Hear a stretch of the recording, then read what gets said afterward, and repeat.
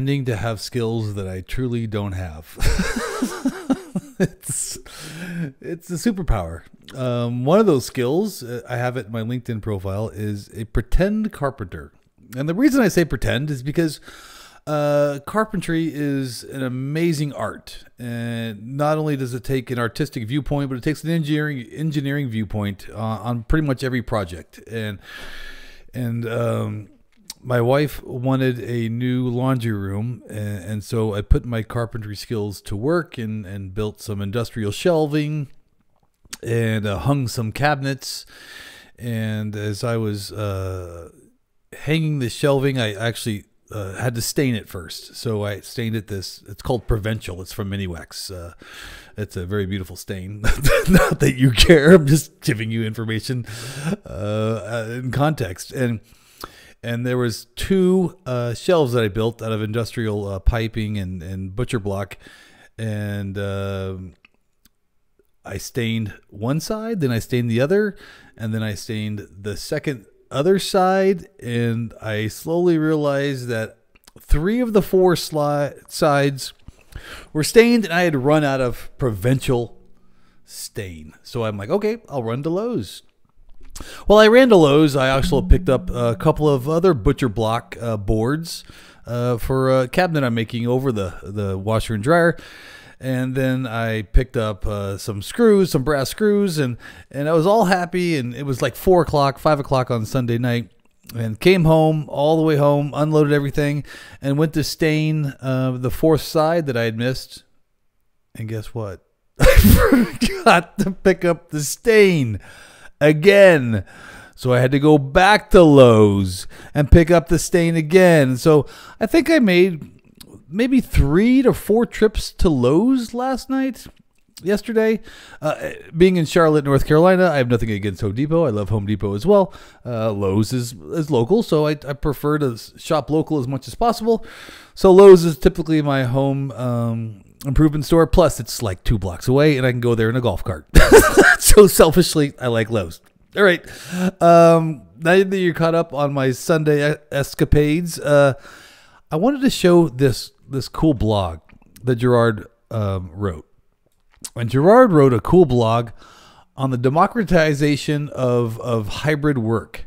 And when I say that, I mean it in this context is that today we're still pretty much all remote. There's a few people dabbling and going back to the office.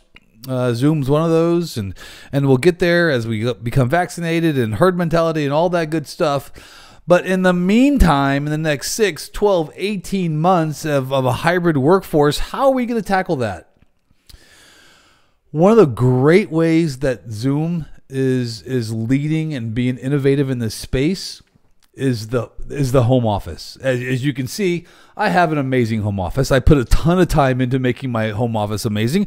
And as you, as a workforce, you probably are spending, if not all, the majority of time in your home office. So make it as amazing and as effective and as collaborative as possible. How do you do that? Well, Zoom gives you that opportunity.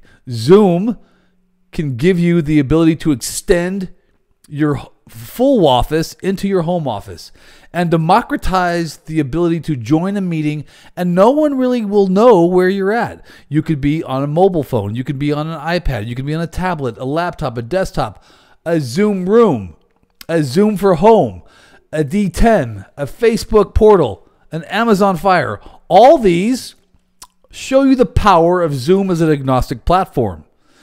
So Gerard wrote a great article, and please, I implore you to, to, to read the article about how you can utilize third-party hardware like an Amazon Fire to really take advantage of the hardware you already own. You already own a TV. You probably already own a, a camera, uh, a speaker, but you can now utilize this capability and have your Zoom meetings literally utilizing the hardware that you have in the home.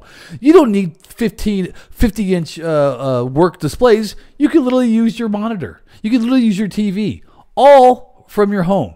And this shows you the amazing ability for Zoom to really be an adaptive and dynamic platform through all this this the hybrid workforce.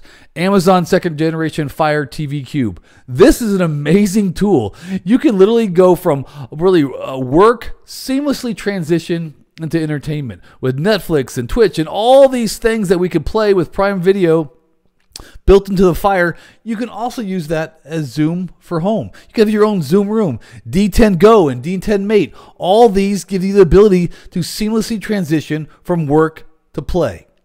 Finally, Facebook Portal uh, is the ability to utilize this aspect built into the framework of, of Zoom. It, it it's really just shows you the power of the platform. And, and I, I really can't say enough about how our paradigm shift of attitude of, hey, you don't have to conform to our standards. We'll conform to yours. We'll be an agnostic player in this space, utilizing any hardware vendor, any uh, protocol, any ability to to kind of seamlessly bring in consumer versus uh, enterprise level work and workflows together.